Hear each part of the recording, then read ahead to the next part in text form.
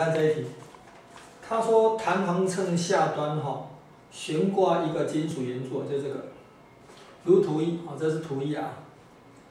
那弹簧秤读数现在是四百啊，试回答下列问题。好啊，第一小题是说哈，金属柱如果缓缓没入水中了，现在假设哈有一杯水，它蛮嗯缓缓哈没入水中了。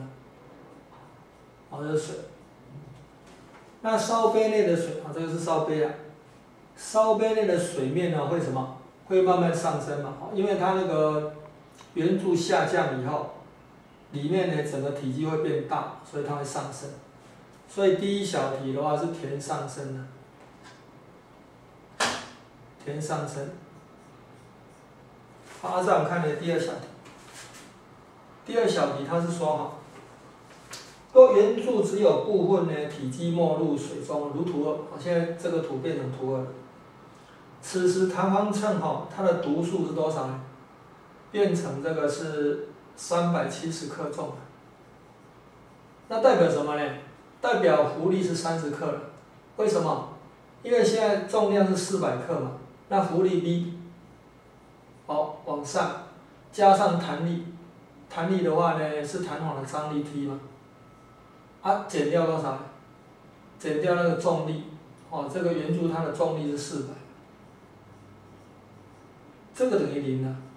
那他说哈，弹簧的指示是三百七十，代表弹簧张力就是三百七十。那说我就得到了浮力多少？浮力就等于四百减三百七十，所以是三十克重。好，第二小题是三十克重，第三小题。第三小题，他说圆柱哈完全没入水中了，哦，就不就是完全没入水中，哦，如图三，哦，现在这是图三了。此时弹簧秤读数哈又变成了三百五十克重。那圆柱浮力，圆柱浮力当然就五十了，哦，为什么？因为是 B prime 嘛哈，加上多少？现在 T，哎，弹这个弹簧张力现在剩下三百五十。它减掉呢，圆柱的重力四百，这个等于零，所以浮力哈是等于五十，五十克重。好，那现在再来看看呢，这个好，那么它问圆柱的密度多少？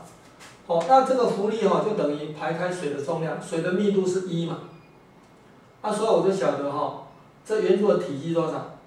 哦，这个啊这是等于那个水的密度一，啊乘以它的体积嘛，所以现在体积等于多少？体积是五十哈立方公分的，哦，体积五十立方公分，那么它的密度低哈，就等于它等于那个质量，哦，质量是等于四百克，四百克了，哦，质量的话四百克嘛，啊除以体积，哦，质量四百克，啊除以体积五十嘛，所以多少？五八四十，所以八克安美立方公分啊，这是它的密度。好，我们看呢第五小题。第五小题的话，他说哈，若将图三，哦这个是图三的哈，的水改成水呢，但是水的密度哈是等于十三点六，十三点六大于多少？大于那个呃这个金属块的密度哦。金属块密度就八嘛，所以什么呢哈？所以这个金属块会浮起来，会浮起来。那浮起来的话呢，这个就没有什么呢？没有那个压缩或那个伸长量。哦，这个东西浮起来的话，这个哈，这个那个弹簧伸长量就等于零。这弹簧没有伸长量，就张力会等于零的。啊，所以它的示重就等于零。则弹簧数的读数应多少？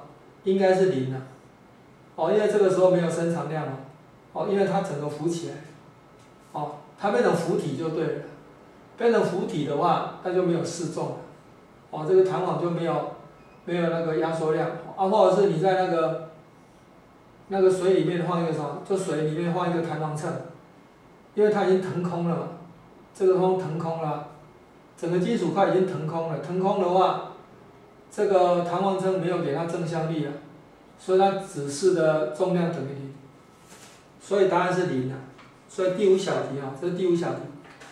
第五小题的话哈，答案是零啊。哦，试重是零克重，答案是零。